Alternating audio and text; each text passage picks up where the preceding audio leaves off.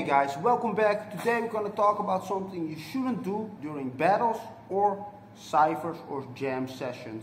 And you can totally do in practice. Uh, and we're talking today about second attempts at stuff like moves, transitions. And I've seen, I've seen actually high level people sometimes do this. Uh, they're obviously not really in the battle scene. They're obviously not really in the cipher scene because from looking from the perspective of sort of the b-boys that are down with doing that stuff, it just whack. It just like you almost crashed, guys. So, uh, and I've seen it with high level, like I said, like people that could do air flares and, and flares, and then they did swipe and they tried the 90, and they did one round of 90, and then they stood up, and straight after that one round of 90, they did the same 90 again to try again, and then uh, uh, they didn't do it and they did an, a third time even, which is even worse. And they did three rounds of 90 all of a sudden, right? Now, in a practice session, that's totally fine, especially if you feel that works for you. Some, uh, it's not always the case, but sometimes for some people, spamming moves over and over and over in a row helps them uh, sort of achieve a better uh, feeling for the move. But in a jam session, uh, in a battle is even worse, but in a jam session or a cipher session, or even if you're performing for people, all it shows is that you failed two times and, and succeeded the last times, right? And failing is sort of the same thing as crashing in these cases. Basically, you just showed you cannot really be clean. You, you're not smooth with stuff. Uh, when you fail your move, you're not like smoothly going into footwork and doing the same move again somewhere else in that footwork or smoothly going or continuing your power move and then uh, doing the same move again in the power move because that's sort of all, all kind of legit uh, it depends which move it is and if you're not repeating it too much. Uh, but that you could do. For instance, if you're talking about the 90 and you do something like windmill to 90, and then you feel, oh, I only did one round, and you fall back into the windmill. We can do flare, windmill, flare, windmill, flare 90, and do three rounds of 90 in that same combo. And that's totally legit. Nobody will even really notice. Of course, they will see the first round, uh, first 90 was not that long, but that's sort of a legit way of doing it.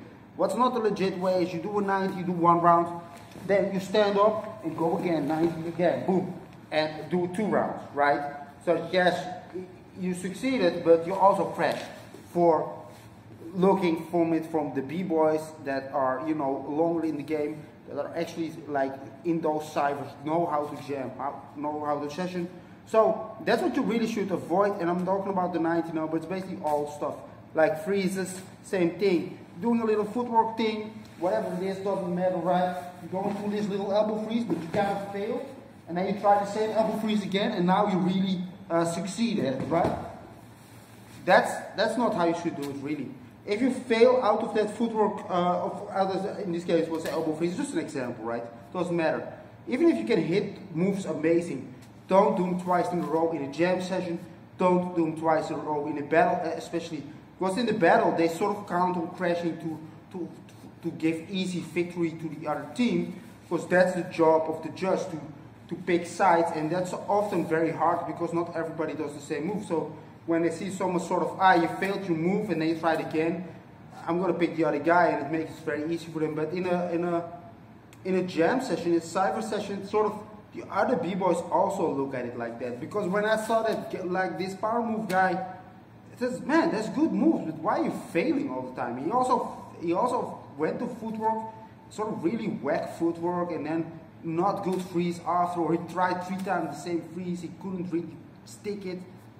That's just lame, guys. Even if, if in the end result you do a really deep invert, it's, it's, it's whack as shit, right? And, and like I know that the like the the b-boys you actually look up to the, the good b-boys don't uh, they just look at it like this yeah you whack and his buddy who was with him actually understood this because you know he had to, like uh, one of his friends he, he was just ciphering just fine was more of a footwork guy but he didn't repeat. When he sort of did a move even if he didn't stick it he just flowed out of it.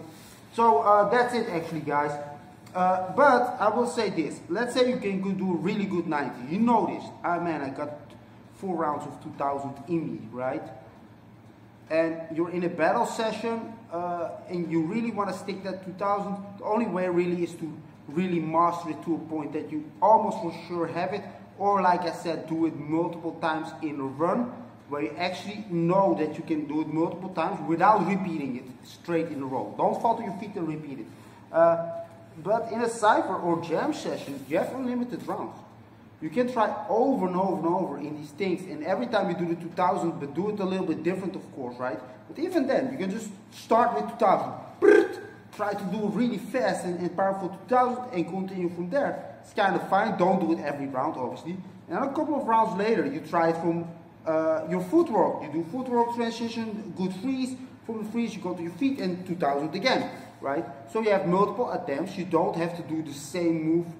Uh, you don't you don't do second attempts basically. You do it in different runs, and it's kind of legit. Of course, you don't want to repeat too much, but it's kind of fine, right? Don't do this, guys, because it looks very lame. I know that when I watched this guy, I was like, man, yeah, that's whack. You just throw everything away what you did before. Even if you do like stuff like flare to air, flare back to flare, and then flare and flare and swipe and then you try a 90 and you fail or you try an invert and you fail from that invert you try to invert again and then you stick it it's like yeah but you just that's just a crash right that's just whack so don't do that guys be wary of this try to work around this when you practice do it however you feel like what gives you results if doing the same move over and over in a row helps for you then do it that's good. That's practice though. It's not jamming. It's not ciphering. And it for sure isn't battling. See you next time.